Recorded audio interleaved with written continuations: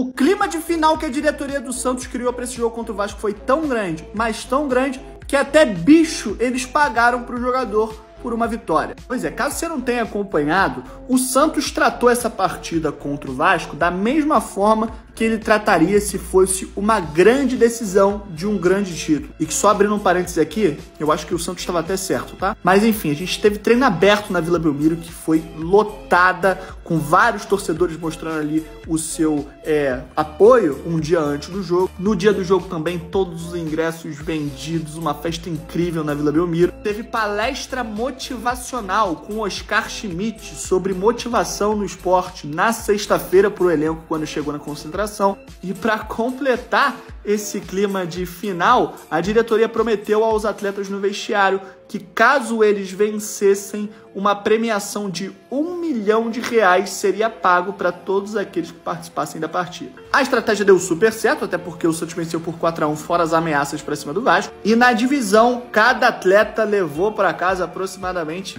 35 mil reais. Vários torcedores do Vasco chegaram a criticar o Santos, falando que eles estavam criando um clima desnecessário, que eles estavam criando uma tempestade num jogo qualquer, mas para mim, pelo menos, não era um jogo qualquer. Era um confronto direto, jogo que o Santos podia sair da zona de rebaixamento, ultrapassar o Vasco, inclusive, que são ali dois candidatos fortíssimos. E tenho total certeza que a diretoria do Santos, depois de olhar para esse placar, não se arrepende nem um pinguinho de uma ação que fez ao longo dessa semana.